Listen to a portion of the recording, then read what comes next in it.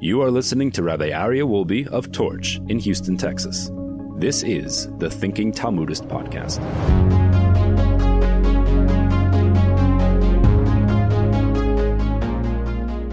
All right, welcome back, everybody, to the Thinking Talmudist. It is so awesome to be here with everyone. And uh, today we're going to change Talmuds. Last uh, couple of weeks, we talked about what happened when Pharaoh tried to kill all the baby boys. We spoke about Moshe's father. We spoke about Moshe, the light that he brought into the, into the world. Today we're going to talk about a verse in the Torah in last week's Torah portion that reads as follows Vayomer Hashem Moshe, and Hashem said to Moshe, Ale Elai Hahara, ascend to me up the mountain. Veheye Sham, and remain there. Ve'etna Lacha, and I will give to you Esluchos Evan, the tablets of stone, Torah, and the Torah, Ve'ha Mitzvah, and the commandment, Asher kosafti that I have written lehorosam to teach them.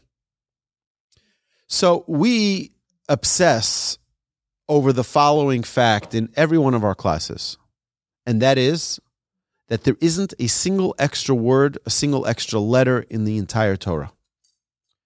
But if you read this verse carefully, you'll see that there's a tremendous amount of redundancy. It's very repetitive. I will give to you the tablets of stone, the Torah, the mitzvah that I wrote, lahorosam, to teach to them. What is all of this? You can just say, This is the Torah that I'm giving to the Jewish people. Instead, no, no, no, it's a whole long thing. The tablets of stone, the Torah, the mitzvah that I wrote to teach them. Says the Talmud in Brachot, Hey Amud Aleph, which is Hey A. Amar Rabbi Levi Bar Chama, Amar Rabbi Shimon ben Lakish. Rabbi Levi Bar Chama said, and Rabbi Shimon ben Lakish said as follows: My dichsiv, what does it mean when the verse says ve'et nalacha this verse that we just read, the Talmud is asking, what, what does this mean? Why is there this redundancy? Seeming redundancy. Luchos, says the Talmud. What does it mean when it says luchos? Luchos are the tablets. Elu aseres adibros. That is the Ten Commandments. How do we know that? Okay, well, he's going to explain it all. Torah, what does Torah mean? Zemikra. That's referring to scripture, to the Torah. Umitzvah, veha and the commandments. What is that? Zo Mishnah. That refers to the Mishnah. Asher kasafti, that I have written. What's that? Elu neviim uksuvim. That is the prophets and the writings. Lahorosam, to teach them. What's that? Ze Gemara. This refers to the Gemara. Melamed, the Talmud says now, Shekulam nitnu lemoshe misinai. This verse teaches us that all of them were given to Moses at Sinai. So here we thought that only one thing was given to the Jewish people at Mount Sinai. One thing. Revelation at Mount Sinai. They got they got the Ten Commandments, and that's it. Everything else was later the rabbis, because we know, of course, everyone says the rabbis made up all the laws, and the rabbis wrote the Mishnah, and the rabbis wrote the Talmud, and the rabbis wanted to make our lives miserable. God forbid, heaven forbid. Here, the Talmud clearly tells us that this verse goes out of its way to emphasize each and every one of these things to teach us that no, the Mishnah and the Talmud and the Kabbalah and the Midrash. I've heard so many people, even sadly, some people call themselves rabbis. They say, ah, Midrash.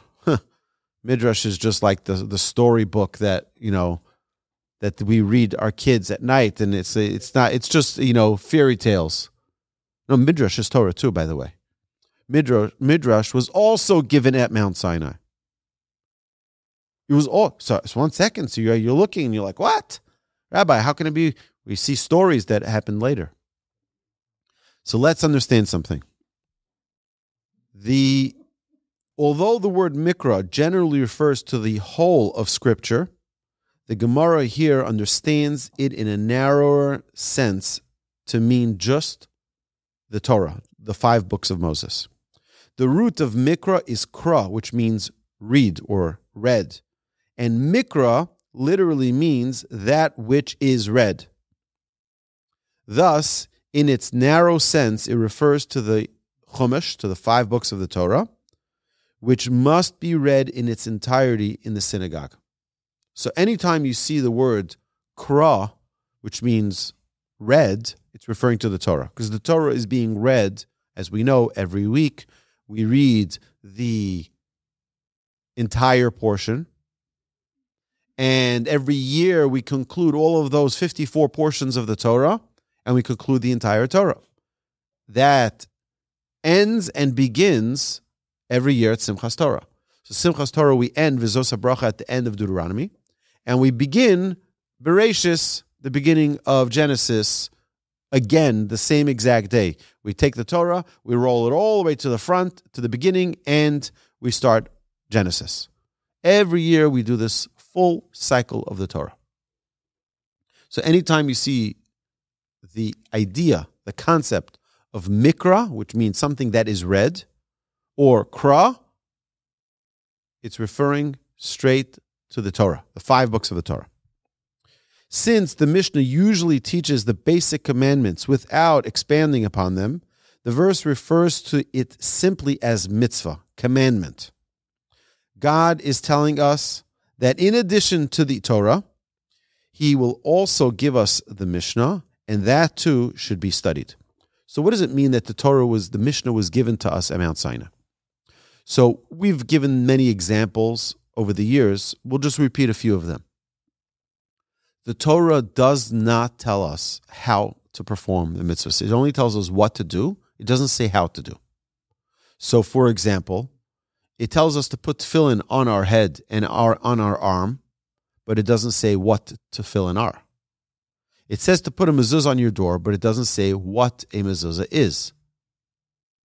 There's nowhere where it tells us what a mezuzah is. We just learned yesterday in our Living Jewishly podcast, we learned chapter, I think this is the 13th podcast, and we, episode 13, where we did the entire laws of mezuzah, and nowhere in the Torah does it tell us what the mezuzah is. It says put a mezuzah on your door, but we don't know what it is.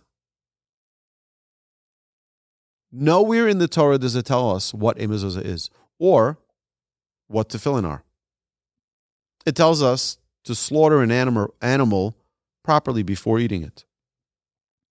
It doesn't tell us how to slaughter it and so on and so forth. You look at the majority of the mitzvahs of the Torah, and the Torah tells you what to do, but it does not give you the guidance of how to do.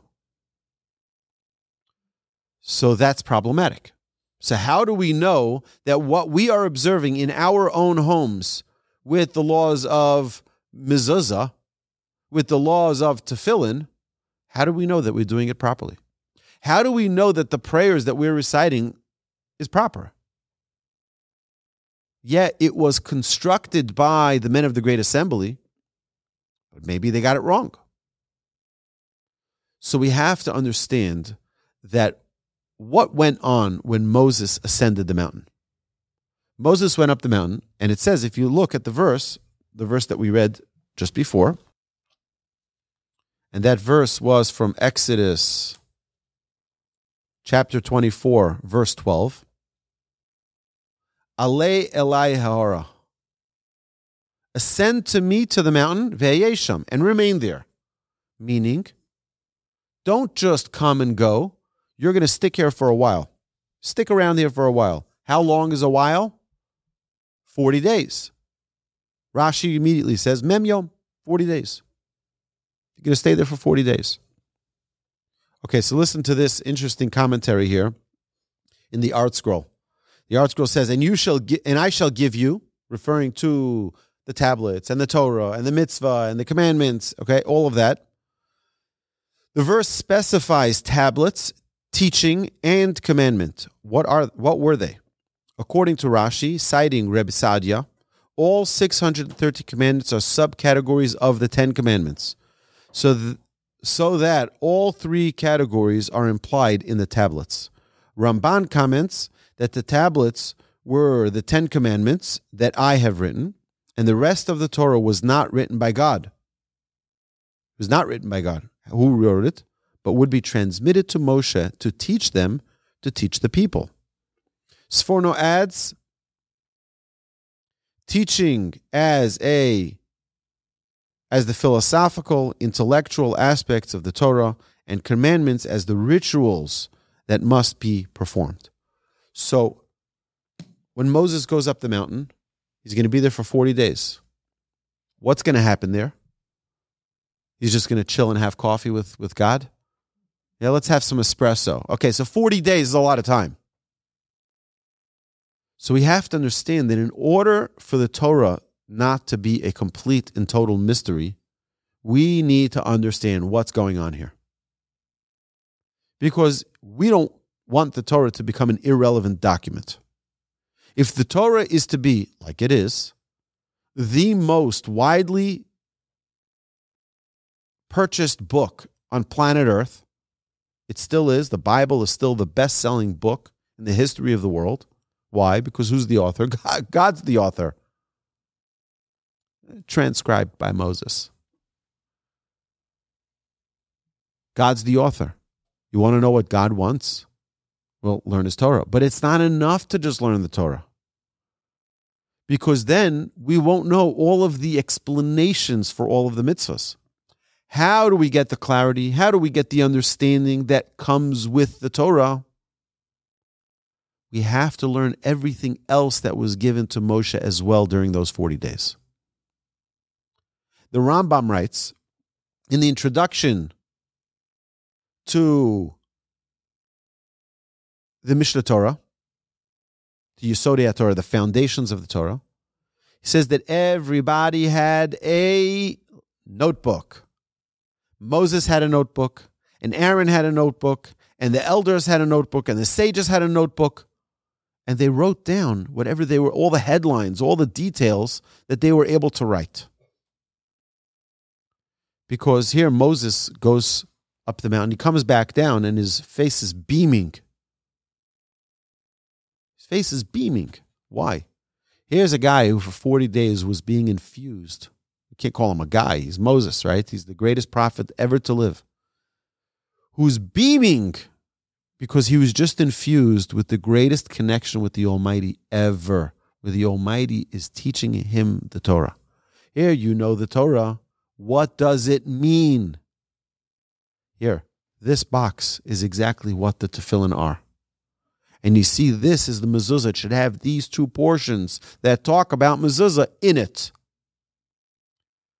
And it should be on a scroll. And how should an animal be slaughtered? And each detail of the Torah was given to Moshe. Moshe comes down. He says, "Guys, guys, guys, let's stop the part. What? What's going on? A golden calf." right? It becomes a big problem. And then finally, he's able to uh, seek atonement for the Jewish people, as we'll see in two weeks' Torah portion. And now they're able to learn about the Torah. They're learn, able to learn about the mitzvahs. Every single detail of what's later going to be transcribed in the Mishnah and in the Talmud and in the halacha and in the midrash, every single one of those was outlined by Moshe to the greatest detail. And for the next 80, next 40 years, while the Jews were in the desert, and before Moshe died, he gave over everything that he was possibly capable of giving over. The Mishnah, the first Mishnah in Ethics of Our Fathers, is very interesting, the terminology. It says, Moshe kibel Torah misinai. Moshe received the Torah from Sinai, from God at Sinai. Umasar liyeshua, and passed it to Joshua. And Joshua passed it to the elders. And the elders passed it. If you listen, what's the exact terminology in the Mishnah? It doesn't make sense. Moshe received the Torah from Sinai. It doesn't say that Joshua received the Torah from Moses. It says that Moses passed it on, and Joshua passed it on, and, and, the, and the elders passed it on. Why doesn't it say that they received it just like Moshe received it? Because Moses received the Torah from the Almighty Himself. Eh, here's the amazing thing every class participant takes about 90 if they're a good student they'll take 90 to 95% of what the teacher presents. 5% is lost. It's a good student. They say that the retention of information is about 30% that's studies show that in a good case it's 30% but i'm i'm i think everyone gets it so imagine it's 95%. What happened to that 5%? Now, when you go teach what you learned because you're so inspired, you come to the thinking Talmudist and you're like, wow, this was amazing. I'm going to go share this with my friends. And you get your group of friends together. How much of what you present are they going to get? It keeps get, getting cut down by another 5%, another 5%, another 5%. So now what happens? Moshe receives from the Almighty, he gets the whole package, everything. But him to be able to, he can't convey it like God does. He's not God. So what does Joshua get? He only gets 95%. And what does Joshua give over? 95%. And what is the what do the prophets give over to the elders? 95%. And the elders to the rest of the people? 95%. So each one is getting trimmed down a little bit. Not because there's an intentional short in what they're presenting, but in the limitation of the conveyor. I only got 95%. I'll give you everything I've got. They only receive. That's, by the way, one of the secrets. It's one of the secrets of why we respect our elders. Because think of how much think of how much more inform think of how much more information they have than we have even if it's just 5% more, they're 5% more enriched with Torah. Which is why in Judaism, the older someone is, the more authority they have in the Torah. Why? Because they're closer to the source. It's an amazing thing. So here you have Moses goes up to up to Mount Sinai. He gets what? He gets also the tablets, also the Torah, also the prophets and the writings, also the Mishnah, also the Talmud. Everything. And that's orally transmitted. So here, the Midrash tells us that all of the animals descended to one place multiple times. All of the animals from the entire earth arrived at one place multiple times. There's a disagreement whether it's three times or four times. The first was when Adam had to give everyone names. Where would we get the name dinosaur from if we didn't get it from Adam? What's a dog? Kelev. It's kolev. It's all heart. In each one of the animals, he was able to connect with them and understand what their uh, essence is and name them by their essence. So all the animals descended to Adam, gave each one a name, and then he says, Wait, what's my name? Ah, I'm from the earth, so call me Earth, Adam, because I'm from Adama. Anyone who's been to the Musar Masterclass, we know we discussed this multiple times. That that's not the case. That's not why he was named Adam. He was named Adam not because he's just from the earth. He's named Adam because Adam is like Adameh, which is to emulate. Our job in this world as human beings is to emulate God. That's our job. Be godlike. Be a representative of God in this world. Show the world what it means to be a person of God. The way we act, the way we forgive, the way we are kind, the way we're generous, All of these things are godly traits. The way we're patient. That's what Adam realized. He realized, yeah, all of the animals have functions, but none of their functions is to emulate God. That's what we're here for. Right. So here's the thing is that th- think of it like this. How can you create a software for code that's not yet written? You see, he gave us the answer because you create the frame and the structure for all of that information that's later going to be created. Yeah, the actual storyline, that's the storyline given by Joshua, given by Samuel, but Isaiah, all of the prophets and the writings, and, and King David and King Solomon. But the framework of it all was given already at Mount Sinai. We actually studied that Talmud of what happened, what transpired when Moses ascended up to the heavens. And the angels say, What's a, a human that comes from, that, that was born from a woman? What is this guy doing here? And as as we know, Moses says to them, "Well, why should you get the Torah? Do you guys have a yetzer hara? Do you guys have an evil inclination? Do you guys desire to do sin? No. Do you guys have free will? No. So why should you get a Torah? What what's it going to make a difference to you? And they're like, you know what? You're right. And then they blessed Moshe uh, on on the receiving of the Torah. See, he was up in the heavenly realms, right? We don't understand. We don't try to get delve into that too much. But the basic idea is, yeah, God created the framework within which the angels, the, the, the sorry, the prophets, within which the prophets are going to prophesy. All of that structure is put in the Torah already, in what was given to Moshe. All of the messages that were given from Joshua and all of the lessons that we learned from all of the prophets and the writings and the Mishnah and the Talmud was all given to Moshe. Now, that Rebbe, Rabbi Yehuda Hanassi, that he wrote when he wrote the Mishnah, he wrote it in a way of conversation. We have an argument between Hillel and Shammai. And the Talmud was written by Ravina and Rav Ashi in a form of conversation, in a form of asking questions, so that's in, that it's engaging. But the principles of what's written in the Torah was all given to Moshe already. And you know what it says? It says that what was revealed to Moshe was able to be released to this world.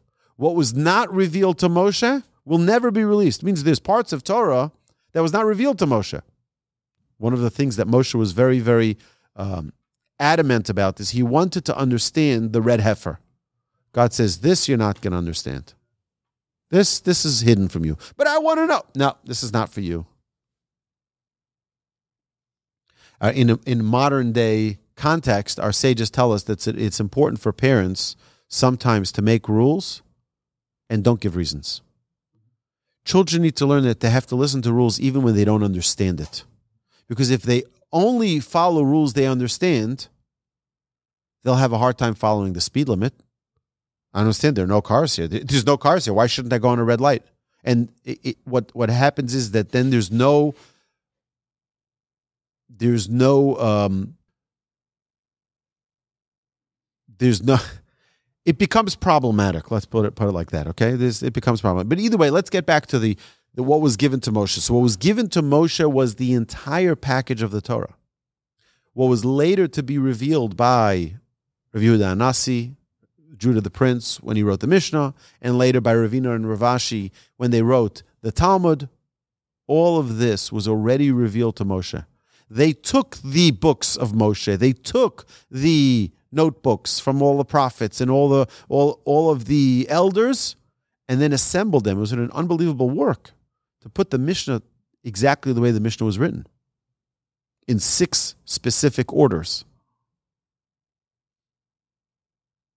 Right? All of the 60 books of the Mishnah are organized in six orders, six different departments. That's a godly uh, insight that was given from God to Moses at Mount Sinai already. So, yeah, that what what was later to be what was later to be revealed in the Mishnah by Rabbi Yehuda Hanasi is what was revealed already by Moshe at Mount Sinai. There's nothing new here. Everything that is given to us, every single word that we learn today, and every single lear- word that we learn in every one of our classes and podcasts and videos is Torah that was already given to Moshe at Mount Sinai. We can have a fresh packaging to it, but it's still the same pre baked Torah that was given at Sinai. Right. So the, the question is what we understand the Torah is. Do we understand the Torah to mean these words of Bereshit bara Elokim? Do we understand the Torah, or do we understand the Torah as what is the blueprint of the world? And if we understand that it's the blueprint of the world, you have a blueprint before you start building. So the blueprint was around, it says, Yisrael, Oraisa, Vikucha Brichu, the three things that were around before the world was created is God, God's before anything, the Torah, which is the blueprint of the world, and the Jewish people. The Jewish people weren't around yet. They weren't in Egypt. They weren't slaves yet. They weren't freed. The concept of having a people that are going to be the chosen people. That concept was already around, baked into the creation of the world prior to creation. You think that anti Semitism is a new thing? That's pre baked into the world. Guys, it says, we learned this also. This was a previous podcast. You can listen to it on the Thinking Talmudist podcast. It was uh, an entire class we dedicated to why the Torah was given at Sinai. Sinai rhymes with the word Sinai. Sinai is the Sinai desert but it also rhymes with the word, word in Hebrew of sinna, which is hatred. You know what descended with the Torah? Hatred. The nations are forever going to be hateful, spiteful, jealous because we receive the Torah. And it makes a lot of sense. It makes total sense. I understand it. I would also be spiteful and hateful if I wasn't a Jew. I mean, why wouldn't I? They got the lottery ticket that I was holding in my hand. I go to the store, I ask the guy for a ticket for the lottery to win $185 trillion, right? Because Judaism is worth more than that, right? And I have the ticket and I say, you know what? I'm not going to win anyway. I just leave it there on the counter. The next guy says, you know, I, will get it. And he wins. What, what, what would I feel towards that guy? The greatest hatred in the world you took my ticket. You should give me some of it. You should this, split it. Uh, he's like, sorry. You didn't, you didn't take it. The entire world was offered the Torah. Every nation was offered the Torah. And they said no. And those who said yes are the future converts of the Jewish people.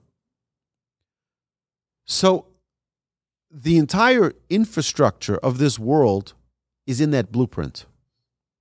That's the Torah that we have. Yeah, well, the, what is what is the soul? The soul.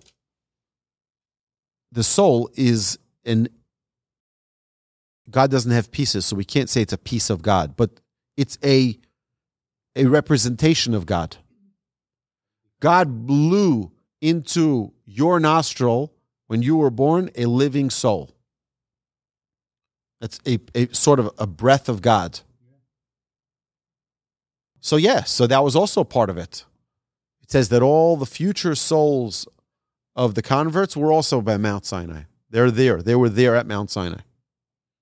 And all the future people that are going to be born, we're all a link to it. Right. So that's a whole kabbalistic uh, uh, discussion whether or not there's a there's a uh, a, a, limited amount of souls um, it's it's it's it's a great discussion to have. I I don't I you know I think that we're all recycled goods here anyway, and we're all we're here once before. Uh, that's that that's my belief, and you're welcome to change my mind. Uh, but that's my that's my uh, that's my thought. I, I believe that we were we were. I believe that every one of us uh, who are born in this generation are recycled souls, probably from the Holocaust. Yeah, hundred percent. That's my. That's my. That's my. Uh, no, no. I don't think anybody wants to be reincarnated. No. So here's the thing. I don't think anybody deviates from the Torah intentionally. I think anybody who deviates from the Torah is doing it mistakenly and is doing it um, notwithstanding what their soul wants. Uh, I, there's nobody on planet Earth who would ever, ever step away from the Torah knowing the treasure that it is. Not a single human being. Do you know someone who would see um, good, healthy food? Okay, so we're not going to talk about, oh, meats, oh, it's bad for you, whatever. Okay, we're not talking about that kind of person. We're talking about just wholesome food to nourish your body. And they say, no, I want to starve to death. No, They don't want to know, it's because they probably most of the people. Look, I, have met. I, would say, let's say, thousands of people over my 18 years here in Houston, and even those I've met, even those who say, "Oh, it just doesn't talk to me, Judaism. It's just not for me." Organized religion. I heard all of these stories. Okay. Um, that God really isn't here. I believe in documentary theory. I believe in this. I believe in that. Right? We we we went through all of the different types of people. Or God, how can God have done the Holocaust? It must be there is no God. I've heard those arguments. It's all coming from a place of pain. If anybody was exposed to true Torah, to true mitzvahs, to true, I'm not talking about, you know, delivering Meals on Wheels. That's a mitzvah. Yes, I'm talking about connecting with the depths of what is going on when we do a mitzvah. When we're able to connect on the highest level of godliness, of spirituality, of Shabbos. Tell me a person who observed the Shabbos properly and says, you know it's just not for me. It's just not for me. It's like you imagine what is the greatest vacation you can ever possibly imagine and it doesn't come close to Shabbos. I just want to get away. I just want to. That's what most people want on vacation. What do you want to do on vacation? You want to bring your office with you? No. You want to leave your office in your office and just go and clear, clear your mind. That's what that's what Shabbos is, but ten times better because everything's prepared for you already. You prepared the food you like. You went and shopped before Shabbos for the greatest delicacies possible. And now you're living on an island. You're with your family, the people you love. You're able to go to synagogue and you're able to sing your, to your heart's delight. You're able to dance. You're able to meet your friends. You're able to be in an environment that is godly, where you're able to recharge your soul and connect with the Almighty, recharge your relationships with your spouse, with your children, with your community. That's what Shabbos is about. I met an individual last night, and he grew up religious, and he's no longer religious. And we sat, I'm very tired right now. I went to sleep at about three o'clock last night, um, talking with this individual. And after he was busy telling me all the reasons of why he made his decisions, he asked me, So, what do you think? Which usually indicates that he's in a place of pain and he needs validation and he needs comfort in, in, in his decision. Like, like, why would you care what I thought? It's like, who am I to, to have a thought on your choice choice for your life? But then I said to him, look, there's one thing that you said that pains me to my core. Is that you told me in our conversation that it doesn't bring joy to you. I said, I find that hard to believe, impossible. It's impossible. God gave us a Torah to enjoy and to have pleasure. And you don't find pleasure in it, there's something wrong here. Shabbos is the greatest day on planet Earth, and you don't enjoy it, something's wrong. Don't blame the Shabbos because the Shabbos didn't do anything wrong. I guarantee you. You might have the wrong definition of what Shabbos is. And he says, Well, I saw my father do this and I saw my father do that. And, you know, it was never a day off and it was always a day. We have to redefine what Shabbos. Is. But to tell me that you don't derive the highest level of pleasure from Judaism, something's wrong. And to me, that's painful to hear. It's painful for me to hear that someone lives life without maximizing the pleasure of it. And to me, just like I don't I don't know how that's possible. I don't know how that's possible. I believe, I believe this firmly, that if we, each and every one of us, were able to observe one single mitzvah in its perfection, we would be in the highest high we've ever been in our entire lives and probably will ever be in our entire lives. One mitzvah in its perfection.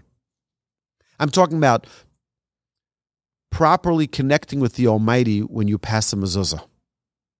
It's a simple one. Yeah, we learned yesterday in the halacha that when you pass a mezuzah, you should touch it, recognize that God's presence is there, that God loves you, He protects you, He watches over you, He's there with you and give it a kiss. Because it's a commandment in the Torah. You want a kiss. You see a, a book, a, a Torah book, give it a kiss. Something which is holy, something which connects us with the Almighty. If we one time, once in our life, actually were able to connect with the depths of that mitzvah of mezuzah, understanding what it represents, understanding the connection, the clarity that it brings us with the Almighty, we'd be dancing on the rooftops. We'd be the happiest people on planet Earth. And to me, it's tragic when I meet someone, tragic and painful, when I meet someone who says, I just don't find joy in it. Something wrong. There's a, a corrupted file there. It's like when you're trying on your computer to just like it says, sorry, we can't find this. We can't find this file. There's, it's missing a, a, a something's something's not right. It should operate. It should operate smoothly. But we're in a world that has a lot of Yetzer Hara. Now, if he says, listen, I want to date non Jewish girls and I want to do whatever I want to do and just leave me alone with the rules. That I hear, but don't tell me it doesn't bring you pleasure to observe Judaism. Don't put down the Judaism. You want to say, listen, I have a lot of, you know, urges They're out of control. And I just want to do my own thing. I want to eat non kosher food and I want to, you know, do whatever I want to do. Okay, that's a different argument. Okay, so at least you're honest. But to put down the Torah, that it, it just doesn't do anything for me. I'm better than the Torah. It just doesn't, it's not enough for me. No, God forbid. Spend time together. The proper way to spend time with any spouse on planet Earth in any relationship is spend time. Spend time together. Talking, connecting. You know what? And also talking physically. That's fine. Meaning having intimacy. That's also part of communication. No, no, no. This is Torah. This is all part of the Torah here. Yeah, a relationship is supposed to be a, a, a, a something that elevates the two, where you're able to com- completely connect with another person, not only with words sitting on a couch, not only holding hands and going for a walk, not only eating a romantic dinner together, candlelit dinner, by the way. Where do you think candles came at a nice fancy restaurant? You get candle a candlelit dinner. It comes from our Shabbos table, my friends. 3,300 years ago. The Jewish people kept Shabbos and they lit two candles. Why? You know what the halacha says? Why? Because it makes the environment pleasant. What does that mean? I'll translate it for you romance. That's what it means. It means that it creates an aura, it creates an environment. Do you know what the man of the house, when he set, recites the Kiddush, do you know what he's supposed to do before he recites the Kiddush? He's supposed to gaze at the candlelights. Take it in. Take it in. Connect with the moment. That's what it's about. Yeah, so someone told us, oh, Shabbos, not to work. it's ridiculous. I'm going to make, you know, a seventh less of money because God said some commandment 3,300 years ago when they lived in a desert and didn't even have jobs? Do you think maybe God understands our world maybe a little bit better than you do? You think you're not going to make money by not working on, on the seventh day? You'll make more money in the other six days. It's all about building our relationship with ourselves, by the way, having some private time. I was very, very inspired. I spent uh, maybe two and a half, three months ago. I was this scholar in residence at the Meyerland Minyan. And Rabbi Bressler said such a beautiful idea, and it really touched my heart. He said, Shabbos, we're not in a rush. So why don't we take more time to daven? And it's such a good thought. It's such a proper thought. You see, during the week, yeah, we have to run to our job, we have to run to meet people and to give classes and to do this and do this. But you know what? On Shabbos, we don't have that. On Shabbos, we don't have to run around and be places. We can daven a longer davening. Talk to God more. Utilize the opportunity of no phone, no internet, no computers, no business meetings. Hashem, I have all the time in the world to just talk, to just talk. That's what Shabbos is for. Shabbos is a time that by the time Shabbos is done, we're wiped out. We are wiped out. We talk to the Almighty, we talk to our spouse, we talk to our children, we talk to our friends. We're able to connect. You need a Shabbos from the Shabbos. Find a way to connect with yourself. The most important thing, you know, my, my rabbi always says this. He says, don't encourage people to get married till they understand themselves. Because if you don't understand yourself, there's no way in the world you'll be able to understand someone else. You first have to know yourself. So perhaps the first mission of Shabbos is get to know ourselves a little. And the biggest fear people have is spending time themselves. People are terrified of spending time, time themselves. Shabbos gives us an opportunity to stop. Stop the run, the, the, the non-stop running after our tails constantly in a in an obsessive way. Non-stop.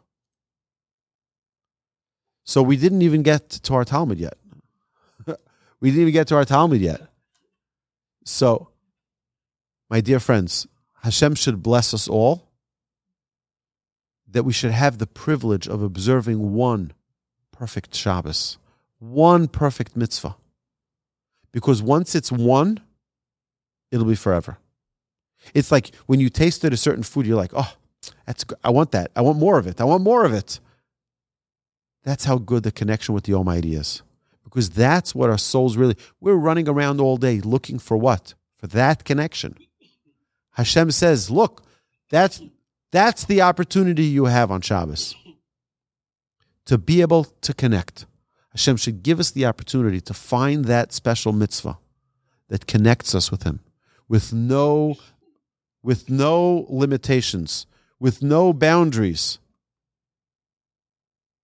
And we should feel the love, feel the pleasure, and feel the joy of that closeness. Have an amazing Shabbos, my dear friends.